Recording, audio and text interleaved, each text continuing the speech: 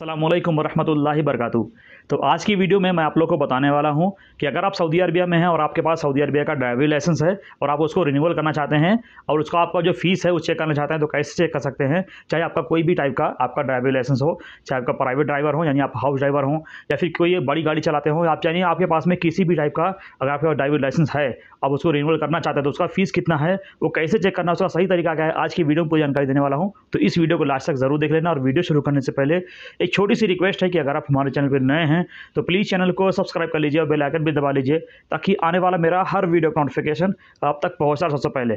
तो चलिए वीडियो शुरू करते हैं। सबसे पहले आपको अपना जो यू पे का एप्लीकेशन है, उसे ओपन करना है। तो यहाँ पर नीचे हमारा यू पे का एप्लीकेशन है। हम इसको ओपन करते हैं। इसके अलावा आप किसी भी एप्लीकेशन चेक कर सकते हैं, लेकिन फ़िलहाल मैं अभी यू आर पे से बताने वाला हूँ, कैसे आप चेक कर सकते हैं। तो यू आर पे एप्लीकेशन पे क्लिक करने के बाद थोड़ा सर्च लेगा, फिर इस तरीके से आएगा, यहाँ पर पासवर्ड डालने वाला ऑप्शन तो यहाँ पे आपको अपना जो यू आर पे एप्लीकेशन का जो पासवर्ड होगा, यहाँ पर वो डाल देना है। तो चलिए यहाँ पर मैं फटाफट से जो मेरा पासवर्ड है, यहाँ पर इंटर करता हूँ। पासवर्ड जैसे इंटर करेंगे, यहाँ पर थोड़ा सर्च लेगा, आपको यहाँ पर थोड़ा वेट करना है, जब तक ये ओपन नहीं हो जाता। तो हमारे सामने हमारा देख सकते हैं यू का जो एप्लीकेशन है, इस तरीके से ओपन हो चुका है। फिर आपको यहाँ पर थोड़ा ऊपर लिखाना इस तरीके से, यहाँ पर आपको दिएगा सर्विसेज़ देख सकते हैं यहाँ पर आपको बहुत सारा सर्विस मिलेगा, लेकिन इस वाले पेज पर ये ऑप्शन नहीं है। तो हमको जाना है सेकंड वाले पेज पे तो हमको इसके लिए हम यहाँ पे लेफ़्ट साइड में इसको यहाँ पे लेके जाएँगे इस तरीके से। यहाँ पर लेके जाएँगे, यहाँ पे आपको दिएगा गवर्नमेंट सर्विस देख सकते हैं यहाँ लिखा हुआ है गवर्नमेंट सर्विस लिखा तो हम यहाँ पे क्लिक करेंगे। तो ये ऑप्शन आपको देख लेना, हो सकता है पहले पेज भी हो सकता है, आगे पीछे होता रहता है अपडेट होता है तो आपको देख लेना क्या पता इधर भी हो सकता है या फिर यहाँ पे भी हो सकता है। जब आपको मिल जाएगा गवर्नमेंट सर्विसेज़ के ऊपर आपको यहाँ पर क्लिक करना होगा। इस पर क्लिक करेंगे तो यहाँ पर देख सकते हो ऊपर लिखा हुआ है गवर्नमेंट सर्विसेज़ नीचे लिखा हुआ है फिल आउट द रिक्वायरमेंट यहाँ पे लिखा हुआ फ़ील्ड तो यहाँ पे आपको दिखेगा कैटेगरी सबसे पहला जो ऑप्शन है तो यहाँ पे आपको क्लिक कर देना है कैटेगरी के ऊपर। यहाँ पर जब आप क्लिक करेंगे तो यहाँ पे आपको बहुत सारा आपको यहाँ पर ऑप्शन मिल जाएगा। तो यहाँ पर आपको ड्राइविंग लाइसेंस का भी दिखेगा, नीचे देख सकते हैं यहाँ पर है। अगर आकामा आई डी चेक करना तो यहाँ पर फ़र्स्ट वाले भी क्लिक करके यहाँ से अपना मैं दिखाता हूँ, यहाँ पर जैसे आप क्लिक करेंगे, मैं फिर से दिखाता हूँ। यहाँ पर मैं क्लिक करूँगा। और यहाँ पर आपको थोड़ा वेट करना यहाँ पे नीचे एक ऑप्शन मिल जाएगा, फ़िलहाल देख सकते हैं, आ चुका है सर्विसेज़ का। यहाँ पे आप क्लिक करेंगे सर्विसेज़ पे, यहाँ पर देख सकते हैं, आकामा का भी आप जो भी चेक करना चाहते हैं, यहाँ से चेक कर सकते हैं। लेकिन मैं करने वाला हूँ ड्राइविंग लाइसेंस का तो यहाँ से मैं बैक करूँगा। अब मैं यहाँ पे जाऊँगा कैटेगरी के ऊपर, और यहाँ से मैं अपना कैटेगरी चेंज करूँगा। यहाँ पर लिखा हुआ है ड्राइविंग लाइसेंस देख सकते हैं, ऊपर से तीसरे नंबर पर यहाँ पर लिखा हुआ है ड्राइविंग लाइसेंस तो यहाँ पर हम क्लिक करेंगे यहाँ पर क्लिक करने के बाद आपको यहाँ पर दिखेगा नीचे सर्विस तो आप यहाँ पे सर्विस नीचे क्लिक करेंगे, नीचे जो एक छोटा सा बॉक्स बना हुआ है, इसमें क्लिक करेंगे। इस पर क्लिक करेंगे तो आपको यहाँ पर जो आपका ड्राइविंग लाइसेंस है, उसके यहाँ पे देख सकते हैं, उसके लिए आपको यहाँ पर आपको पाँच ऑप्शन मिलने वाला है। फ़र्स्ट में लिखा हुआ है इशू लाइसेंस अगर आपको इस लाइसेंस इशू करना है तो उसका फ़ीस यहाँ से चेक कर सकते हैं। और नीचे आपको यहाँ पर दिखेगा issue licence from old licence अगर आपके पास में कोई ओल्ड यानी पुराना लाइसेंस है, उसको आप नए में नया इशू करना चाहते हैं तो यहाँ से उसका फ़ीस आप चेक कर सकते हैं। और यहाँ पर नीचे नीचे आपको दिखेगा, लिखा हुआ है रिन्यू लाइसेंस तो रिन्यू लाइसेंस का यहाँ से फ़ीस चेक कर सकते हैं। अगर आपको कार्ड को रिप्लेस करना है, जैसे डैमेज हो चुका है लिखा हुआ है रिप्लेस डैमेज लाइसेंस अगर इसका फ़ीस चेक करना चाहते हैं तो यहाँ से कर सकते हैं।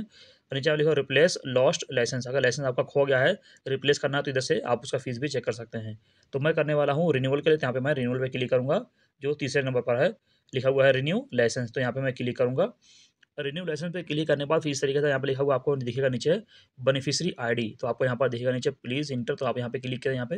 क्लिक करने के बाद आपको यहाँ पर आपको अकाउंट नंबर डाल देना है, जिसका भी आप यहाँ पे ड्राइविंग लाइसेंस का देखना चाहते हैं, उसका फ़ीस कितना है रिन्यूअल का तो उसका आपको यहाँ पर अकाउंट नंबर आपको इंटर करना है। जैसे मैं खुद का खाना चाहता हूँ तो यहाँ पर मैं खुद का अपना अकाउंट नंबर यहाँ पे इंटर कर देता हूँ। तो यहाँ पर डालता हूँ मैं, इस तरीके से।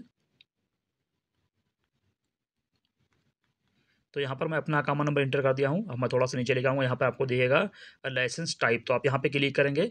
यहाँ पर क्लिक करने के बाद यहाँ पे आपको हर एक टाइप का लाइसेंस का यहाँ पर कैटेगरी मिल जाएगा। जैसे आप लिखा टेम्प्रेरी प्राइवेट लिखा हुआ है प्राइवेट लाइसेंस मोटरसाइकिल का मिलेगा प्राइवेट यानी जो हाउस ड्राइवर है उनको यहाँ पर प्राइवेट है। पब्लिक टैक्सी वाले भी मिल जाएँगे, यहाँ पे उसका मिल जाएगा। और मैं और चेक कराता हूँ यहाँ पर।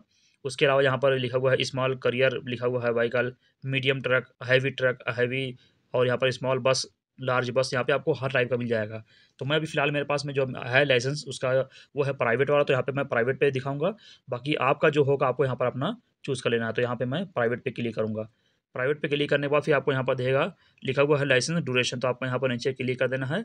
अब आपको अपना जो लाइसेंस है, वो कितने साल के लिए रिन्यूअल कराना है, उसका फ़ीस चेक करना है तो आपको यहाँ पर वो सेट करना होगा, यहाँ पे चूज़ करना होगा। तो यहाँ पे टू ईयर वाला भी है फाइव ईयर है टेन ईयर है। तो यहाँ पर मैं करना चाहता हूँ टू ईयर वाला तो यहाँ पर मैं इस पर क्लिक कर दूँगा।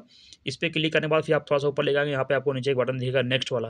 तो आपको यहाँ पर नीचे नेक्स्ट पे क्लिक करना है। उसके बाद आपको सबसे पहले आपको अपना अकाउंट नंबर एक बार सही से चेक कर लेना है, गलत नहीं होना चाहिए। नहीं तो डिटेल आपका नहीं आएगा। तो मैं एक बार अपना जो आईडी नंबर है चेक करता हूँ।